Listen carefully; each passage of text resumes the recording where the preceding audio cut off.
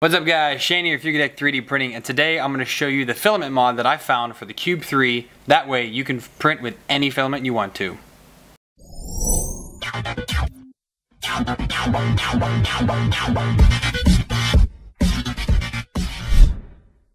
So welcome back guys, again I am super duper excited because I finally found a way to get the Cubify slash 3D Systems Cube 3 3D printer to print with any filament.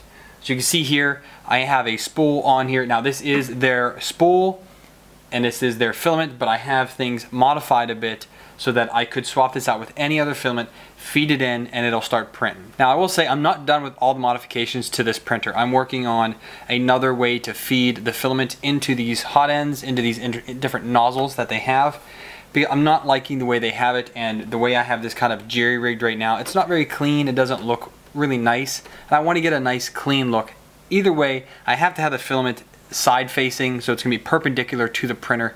That's just the nature of the beast with this because I can't find a way to do it without respooling the filament onto their spools, which look like this, and then reclosing it and doing all that. That's just way too much work. I just want to take a spool Hatchbox, set it down, feed it in, and tell it to start printing. That's really all I'm looking to do here. And these other modifications that I'm doing will help get us there, but that's gonna be a totally different video. This video, I'm just gonna show you what you need to do, where you need to go online, download the files that you need, update the firmware on this, and that way it doesn't change the chip that comes on every one of these spools. Okay, so here is the back of an empty spool. This is actually a spool that I completely used up trying to figure out different modifications and what I could do with this printer and I end up using it all up. And this right here is the little, I believe it's an NFC chip that tells the printer how much filament is left on the spool because it knows how much was originally put on there. Now this is the chip we have to defeat because on here there's a little reader that reads, there's little contacts on here that read what it is. So it tells it that this one was a the red PLA. Actually, so this was for this here, but I obviously running it differently now. And it tells it the color, it tells you the type of material, it's ABS or PLA, and it tells it how much is originally on the spool and how much is left over when you finish printing it. And that really sucks because once you finish, guess what? You're done. This spool is now garbage. I literally kept it just so I could do this video. This one's actually, again, it's empty, it's useless, even though I have red left over because I was using this when I was testing out other filaments. All those prints that I did on this printer back in October for the Halloween when I printed all those uh, little skulls, the uh, pumpkin skulls, were printed on this printer using this and eventually it did run out. So again, that really sucked. I tried swapping different firmwares, but it ended up coming to a firmware modification, and all it does, as far as I can tell, is it just says, hey, stop updating this chip. So before we get started anything, let's get rid of, you know, the disclaimer here. I did not come up with this modification, hack, whatever you want to call it. I simply found it online by constant searching all the time. There's a few people out there that created this modification and they have it hosted on a form which you can go to. Links will be down below and I'll show you in the video how to go to the forms, download the modifications that you need, update the firmware, send it to the printer, and then have it be ready to roll with the new filament. So again, I did not create this. This voids any warranty, if there's even any left. Again, this printer is EOL, end of life. They no longer support it. They only sell the filament for it. They want nothing to do with it. They are gone out of the consumer 3D printer market. You can pick these printers up for so cheap because of that. So let's go to the computer, let's check things out, and then we'll come back, recap, and you guys will be off to the races. All right guys, so here we are. We're on the, the print 3D form. You know, we're gonna go to form, 3D printers, Cube 3, and the very top sticky thread is this Cube 3 filament software hack is here. It's a great little tool. Uh, they go through a lot of great steps in here. I'm to run it through with you guys super quick here. So they're telling you here you need to download the firmware. This is actually the official firmware that you're to download. If you already are running it, and you have a copy of it, great. If not, go ahead and download it get a new fresh copy of it. Then you're going to go ahead and get the latest copy here of their Cube Toolbox version 1.0. As of this video on April 14th, that is the current version. And again, it's real simple here. So you download the toolbox, you're going to download the official firmware, and then we're going to open it up, patch the firmware, copy the patch of firmware onto the USB stick, and then go ahead and update the firmware. That simple, six easy steps. Okay, so once you guys have everything downloaded, you should have the Cube 3 firmware and the Cube Toolbox. Open up Cube Toolbox, and get the pop-up, and we're just to pull that into our folder here. And now we're to do the same thing with the firmware here. Pull that into the folder, close that out. Okay, now let's open up the Cube Toolbox fine. All right, so open firmware right there in our Cube 3. Open that up, and here's going to tell us our firmware version. That's great. Now, what this is going to do is we're going to hit patch firmware. It's going to create a .original file, which is going to be the original firmware, and then it's going to rename the new one to be the same as the Cube version 1.14b.ar. So, patch firmware, successful. Look at that, it took a second. That's done.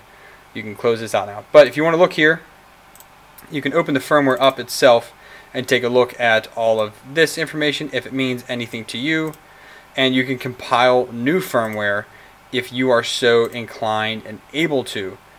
That's not me. We're just going to use this as it is. Alright, so now we need to go ahead and insert a thumb drive, which the Cube 3 comes with a 3D Systems Cubify little thumb drive. Go ahead and slip that in and we're going to put the firmware on it. Okay, on the left is my folder. On the right is the USB drive. We're just going to copy over the firmware again, not the dot original, because that is the original one from Cubify. We're going to copy over the modified version. And there it is on it. Now let's go to the printer and get this thing installed. Alright guys, here comes the easy part. All you got to do, turn on your printer. Alright, and we're going to go right here to settings. And then we're going to hit over.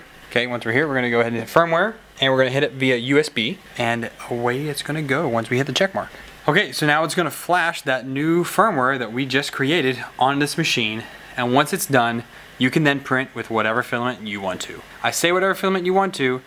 This updates it. It's still going to vary because you can only print PLA or ABS with this right now. Uh, there is no current other fixes to add it so that you can print like PETG because it's still going to read the type of filament from the actual spool it just doesn't care how much is on it anymore. So that way you can do some of the modifications that I have coming up and easily spool any filament you want onto it. All right guys, and that's all it takes. It really doesn't take much to get this thing printing with any kind of filament you want. It's a super great thing. I'm so happy that someone finally found out how to do it. Now I can really put this thing to work, get two different colors on here, and get some awesome dual color prints going. Now again, I said you can pick this printer up super duper cheap. I'd say you can get sometimes for less than $100 on eBay, the US eBay. I picked this one up, I think this one ended up getting me 140 so it was 100 plus $40 shipping. The shipping usually is a lot on these, so be careful of that. Some people are charging up to $100 in shipping, so be careful who you're buying from. But again, around 100 bucks you can pick up this printer. It's dual colored printing for $100 guys. Honestly, show me something that can beat that.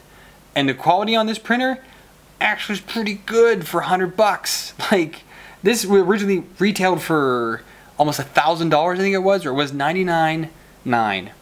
Was the original retail price of this printer. That's crazy. But a hundred bucks, hey, I think I can sweat a hundred bucks to get this going. All right, I hope you guys enjoyed this video. There are a ton more videos to come with this printer. I'm gonna do some print videos. I'm gonna do an overall review here real soon on pre-modification and post-modification.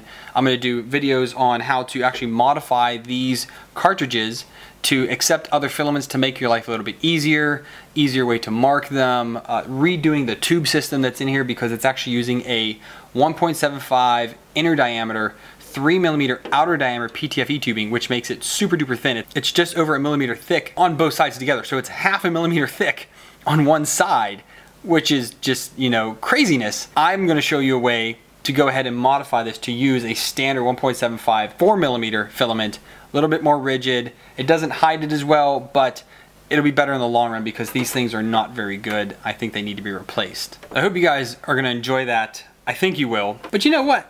You know, this is cool and all, but what if you don't have one of these printers? You know what? I'm gonna hook you guys up.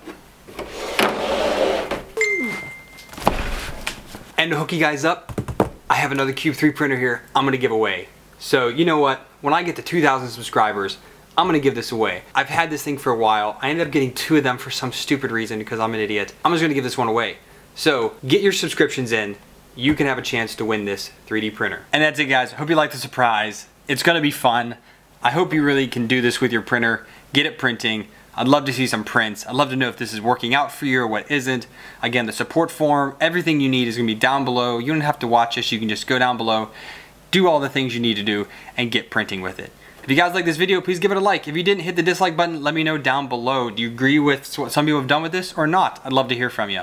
You want to support the channel? Biggest way and the best way to do it is subscribe down below. That gives you a chance to win this printer whenever I get to 2,000 subscribers. If you want to help me out financially in order to fund me doing videos like this, you can hit me up on Patreon. Donate me a dollar more. Greatly appreciate current Patreons. You guys are awesome. If you don't want to help me out with any of your money, go down below. There's going to be some affiliate links. Update your bookmarks with those. Do some shopping. Again, all of that comes here to help out me make content, get things for the channel buy another printer to give away to somebody. You know, it, it all ends up helping out. So any way you guys want to do it, even if it's just watching the video, I appreciate you coming here.